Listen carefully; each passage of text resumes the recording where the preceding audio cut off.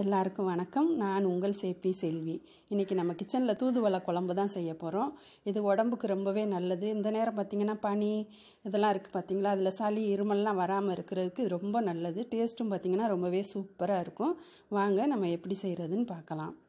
அதுக்கு நான் இன்றைக்கி ஒரு கைப்பிடி தூதுவளை எடுத்து மஞ்சள் உப்பில் ஊற வச்சுருக்கேன். இந்த மாதிரி ஊற வச்சுருங்க. அதில் இருக்க தூசி ஏதாவது பூச்சி இருந்தாலும் போயிடும் தூதுவளை பாருங்கள் இந்த மாதிரி தான் இருக்கும். பின்னாடி பார்த்திங்கன்னா குட்டி குட்டியாக முள் மாதிரி இருக்கும். தக்காளி ஒரு மூணு தக்காளி எடுத்திருக்கேன். பெரிய சைஸ் தக்காளி. பல்லாரி வெங்காயம் மீடியம் சைஸ் பெரிய வெங்காயம் எடுத்து பொடிசாக கட் பண்ணி எடுத்து வச்சுருக்கேன். ஒரு இருபது போல் பூண்டு பல் எடுத்திருக்கேன். சின்ன லெமன் அளவு எடுத்து புளி எடுத்து ஊற வச்சுருக்கேன். இப்போ நம்ம கடாயை அடுப்பில் வச்சுட்டு கொஞ்சமாக எண்ணெய் சேர்த்துக்கலாம். ஒரு அரை ஸ்பூன் போல் சேர்த்துக்கோங்க. இப்போ நம்ம உரித்து வச்ச சின்ன வெங்காயம் ஒரு அஞ்சாறு சின்ன வெங்காயத்தை எடுத்து அதில் நல்லா வதக்கிடலாம். இந்த அளவுக்கு வதக்கிக்கோங்க. அதிலே நம்ம எடுத்து வச்ச தூதுவளையும் சேர்த்துட்டு வதக்கிடலாம். இது டக்குன்னு வதங்கிரும். ரொம்ப நேரம் வதக்கணும்னு தேவையில்லை. ஒரு செகண்ட் தான் பார்த்திங்கன்னா வதங்கிடும் பாருங்கள் இந்த அளவுக்கு வதங்கினோன்னா நம்ம எடுத்து வச்சிடலாம்.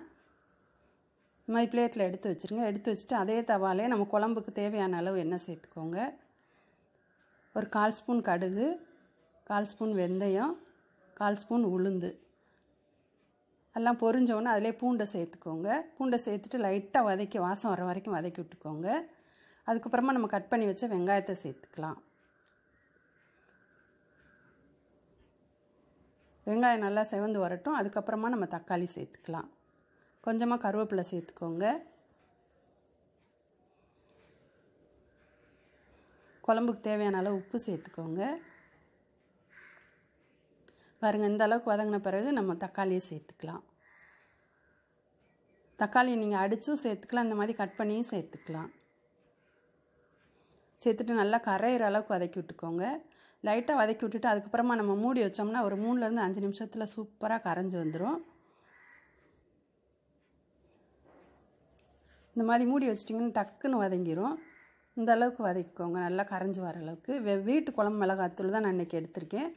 மூணு ஸ்பூன் எடுத்திருக்கேன். அதை சேர்த்துட்டு நல்லா பச்சை வாசனை போகிற அளவுக்கு வதக்கிடலாம். சிம்மில் வச்சுக்கோங்க கருகிராமல் உங்கள்கிட்ட வீட்டு குழம்பு மிளகாத்தூள் இல்லைன்னா கடையில் வாங்கின தூள் கூட சேர்த்துக்கோங்க. இல்லைன்னா சாம்பார் தூள் கூட சேர்த்து செய்யலாம். டேஸ்ட்டு சூப்பராக இருக்கும். பாருங்கள் இந்த அளவுக்கு எண்ணெய் பிரிகிற அளவுக்கு நல்லா வதக்கிக்கோங்க. அதுக்கப்புறமா நம்ம கரைச்சி வச்ச புளியை சேர்த்துக்கலாம். சேர்த்துட்டு நல்லா மிக்ஸ் பண்ணி விட்டுக்கோங்க. அது கூட கொஞ்சம் தண்ணி சேர்த்துக்கலாம். சேர்த்து கலந்த அளவு கலந்து விட்டுக்கோங்க. வத்தி வர்றதுக்கு நம்மளுக்கு சரியாக இருக்கும். பாருங்கள் கொதி வந்த பிறகு லைட்டாக ஒரு ஓரத்தில் திறந்துருக்க மாதிரி மூடி வச்சுருங்க.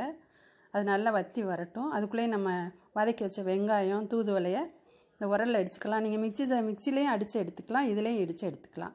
இதிலே நம்ம அரைச்சோம்னா டேஸ்ட்டு ரொம்ப சூப்பராக இருக்கும். லைட்டாக அந்த மாதிரி தட்டிட்டு இந்த மாதிரி செய்யுங்க. நம்ம உரலில் ஆட்டி எடுத்தது போல் சூப்பராக இருக்கும். பாருங்கள் அரைச்சடிச்சு இப்போ நம்ம வலித்து எடுத்துக்கலாம்.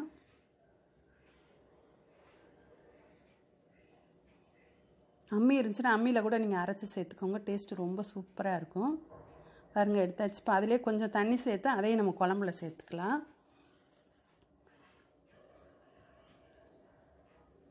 சேர்த்து நல்லா கலந்து விட்டுக்கோங்க.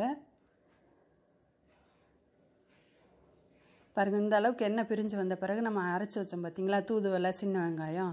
அதை சேர்த்து மிக்ஸ் பண்ணிவிட்டு லைட்டாக ஒரு ஒரு செகண்ட் அப்படியே பபிள்ஸ் மாதிரி கொதி வந்தால் போதும். அடுப்பை ஆஃப் பண்ணிக்கலாம்.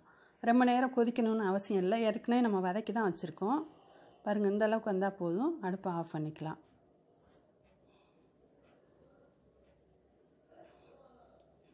இந்த குழம்பு டேஸ்ட்டு ரொம்பவே சூப்பராக இருக்கும். உடம்புக்கு ரொம்ப ரொம்ப நல்லது. கண்டிப்பாக நீங்கள் இந்த குழம்பு செஞ்சு சாப்பிடுங்க. செஞ்சு பார்த்துட்டு எப்படி இருந்துச்சுன்னு எனக்கு கமெண்ட்ஸில் சொல்லுங்கள் லைக் பண்ணுங்கள் உங்கள் ஃப்ரெண்ட்ஸு ஃபேமிலிக்கெலாம் ஷேர் பண்ணுங்கள் நன்றி. வாழ்க வளமுடன்.